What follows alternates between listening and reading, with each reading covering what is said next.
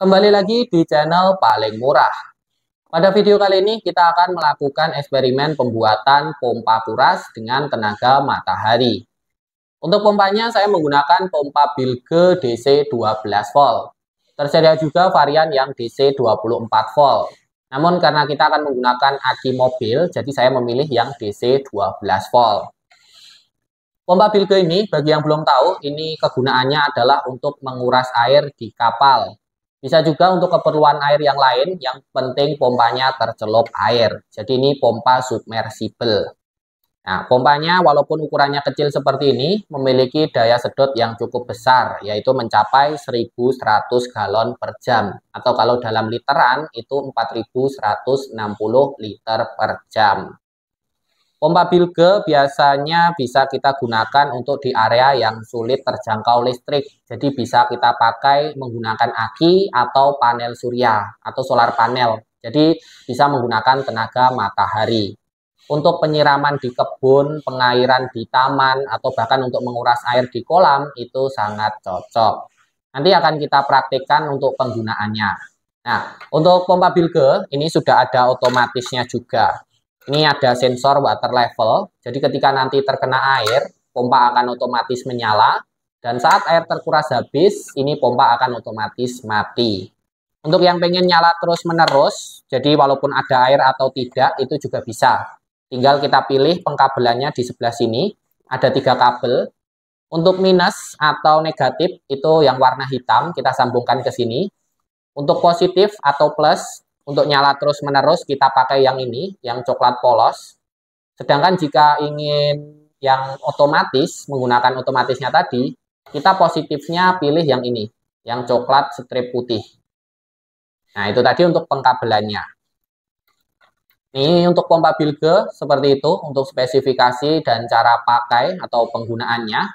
Untuk pompa ini di harga online itu 180 ribuan saja saya dapatkan.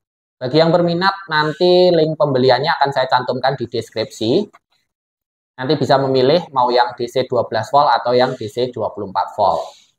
Kemudian untuk bahan lainnya, selain pompa bilge ini tadi, bahan kedua adalah panel surya atau solar panel. Itu sebagai pengecasan, itu kita menggunakan yang 50 WP. 50 WP itu sudah cukup karena pompa ini sendiri tidak membutuhkan watt yang terlalu besar Kemudian bahan ketiganya ada aki. Kita bisa pakai aki motor atau aki mobil. Nah, karena ini kita membutuhkan minimal 5 ampere, jadi kalau aki motor itu harus di atasnya. Contoh mungkin bisa pakai yang 7 ampere atau mungkin yang 8 ampere. Kemudian untuk bahan keempat, kita bisa menggunakan namanya controller. Nah, ini fungsinya sebagai pengaman, sebagai saklar, atau sebagai charger si aki nantinya. Jadi di sini bisa dilihat ada tiga ruas. Ini untuk ke solar panel. Solar panel nanti kabelnya dua masuk di sini. Terus dua ini kabel ke arah aki dan dua ini kabel untuk ke arah pompanya. Jadi nanti pompa akan ngambil power ke arah aki dan aki akan dicas terus menggunakan si solar panel atau si panel surya.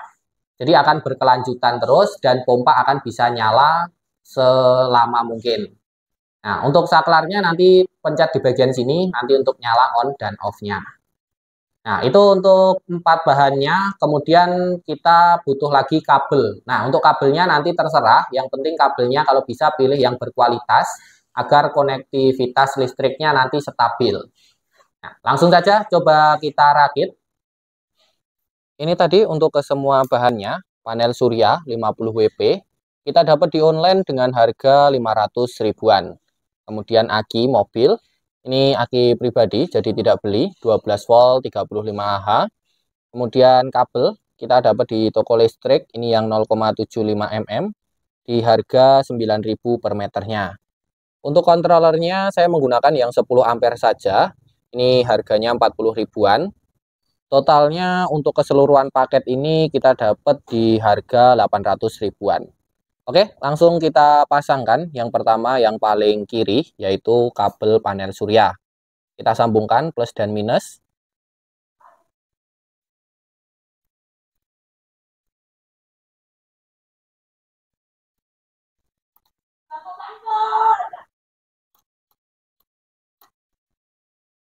Kemudian yang kedua adalah bagian aki yang di tengah, plus dan minus.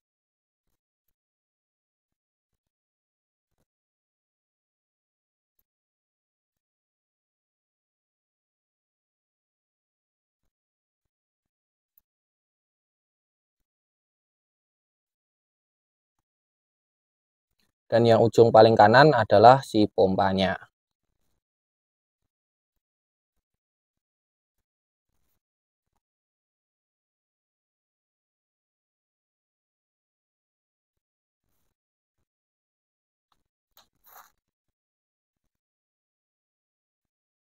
Nah, untuk kabel pompa kita cuma memasang dua kabel. Yang satunya tidak perlu kita pasangkan karena kita menggunakan mode yang otomatis. Kemudian untuk akinya kita colokkan.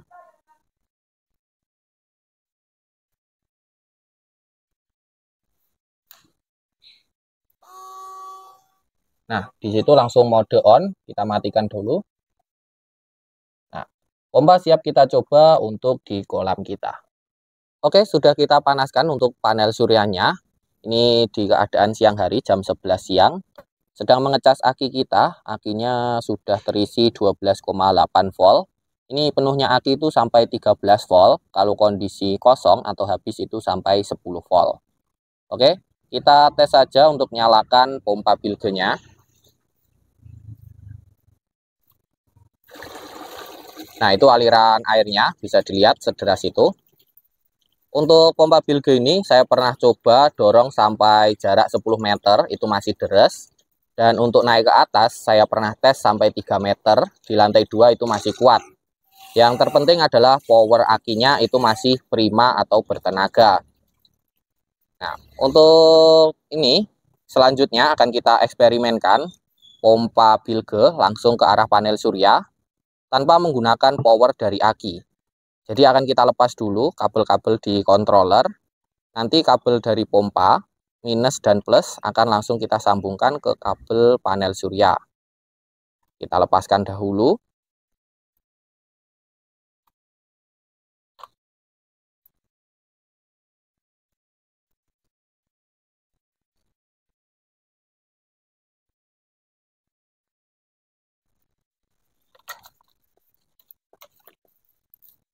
Nah, untuk penggunaan panel surya, ini kondisi jam 11 siang ya, masih panas-panasnya. Dan dia kuat untuk menyalakan si pompa bilge ini. Aliran airnya sederas itu, masih cukup deras.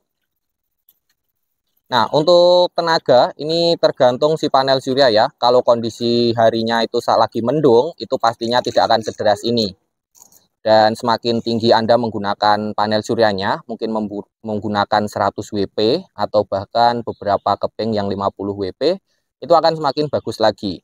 Maka akan semakin lebih deras si pompa bilge ini. Nah, itu tadi untuk percobaan kita pompa bilgenya. Jika ada yang masih bingung atau ada pertanyaan, boleh tuliskan di kolom komentar. Dan jangan lupa untuk yang belum subscribe di channel ini untuk di subscribe dan nyalakan tombol loncengnya. Dan untuk semuanya saja, like video kali ini dan terima kasih.